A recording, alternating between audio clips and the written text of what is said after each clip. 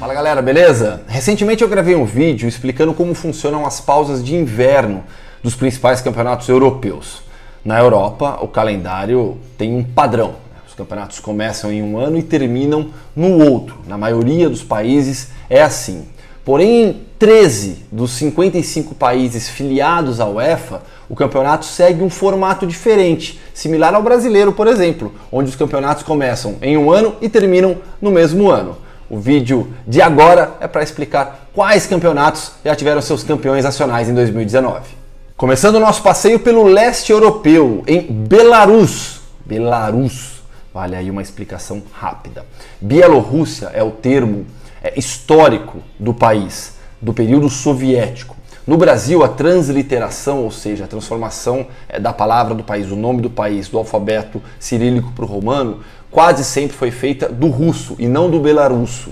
E aí, por conta disso, esse equívoco na transliteração em diversos momentos da nossa história. A forma correta é Belarus, também dito no Brasil como Belarus.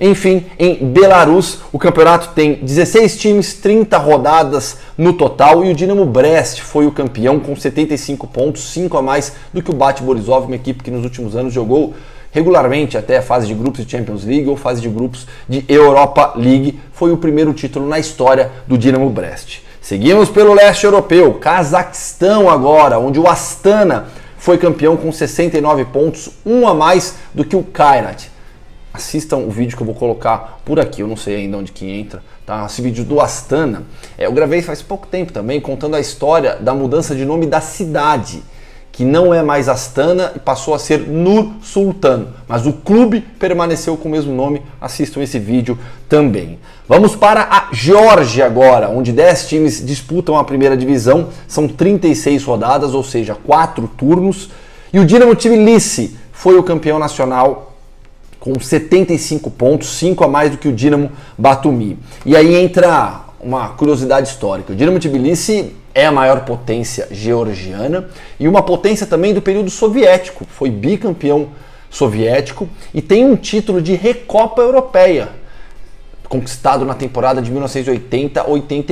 Então, no período soviético, o Dinamo Tbilisi, representante da Geórgia, foi uma equipe muito forte, batendo de frente com os principais times russos e ucranianos também. Por fim, o nosso passeio pelo leste europeu termina na Moldávia, onde oito times jogam a primeira divisão, são 28 rodadas no total. O Sheriff Tiraspol foi o campeão com 70 pontos e o Sfinto George foi o vice-campeão com 53. O Sheriff é o atual pentacampeão nacional. Vale uma outra explicação histórica. É, diversos países, pelo menos a maioria nesse caso, mantém esse formato diferente do padrão europeu por conta do inverno. Mas outros fizeram o caminho inverso. Então a Rússia, por exemplo, a Rússia tinha um campeonato também começando e terminando no mesmo ano, mas há alguns anos se adaptou ao calendário europeu. A Moldávia fez o contrário.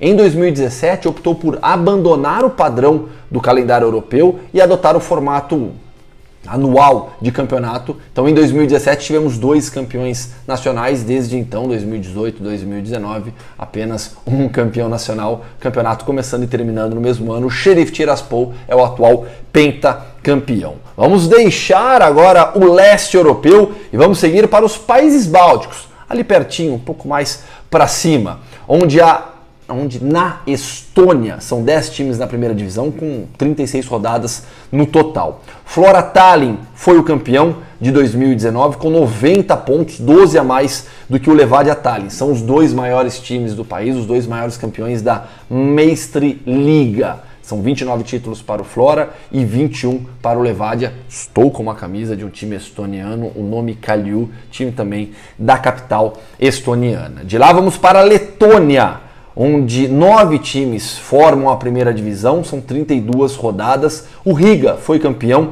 com 66 pontos, 7 a mais do que o Rigas, rival adversário da cidade. O Riga é uma equipe, um clube muito novo ainda no país, foi fundado em 2014 e é o atual bicampeão da Virs Liga. Nosso passeio pelos países bálticos termina na Lituânia, onde oito times jogam a primeira divisão e ainda tem uma fase final com seis.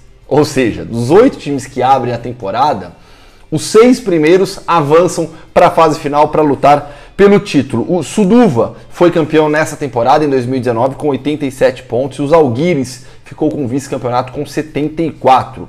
Curiosidade sobre a campanha do Suduva: 29 vitórias e 4 derrotas. Não teve empate no título do Suduva com 87 pontos. Lembrando que na Lituânia o esporte mais praticado é o basquete e aí eles são uma potência. Vamos agora sair um pouco dessa região do continente europeu, vamos para a Irlanda. 10 times na primeira divisão, 36 rodadas. O Dundalk foi o campeão com 86 pontos, 11 a mais do que o Shamrock Rovers, 14 título na história do Dundalk. Hum, entre os países da comunidade britânica, Reino Unido mais a Irlanda, apenas a Irlanda segue esse formato anual, todos os outros seguem o formato tradicional, modelo europeu de temporada 2014, 15, 15, 16 e assim por diante. Fechando nosso giro já, dos 13 países que não têm o formato tradicional da Europa, 13 dos 55 que são filiados à UEFA. Países nórdicos agora. Ilhas Faro, 10 equipes na primeira divisão, 27 rodadas. O CAI, mais conhecido como CAI, o nome oficial do clube é o Klaksvikar Itrotarfelag. Tive que ler, admito. Que não era campeão há 20 anos ficou com o título com 66 pontos, 3 a mais do que o B36, que mais parece nome de submarino. Na Islândia são 12 equipes na Elite, 22 rodadas, campeonato um pouco mais curto, inverno lá é um pouquinho pesado. E o KR com 52 pontos foi o campeão. É, o Breidablik ficou bem atrás com 38 pontos. O KR é o maior campeão nacional com 27 títulos. Terminando já o nosso giro, em os últimos três países. Finlândia, 12 times, fase final com 6.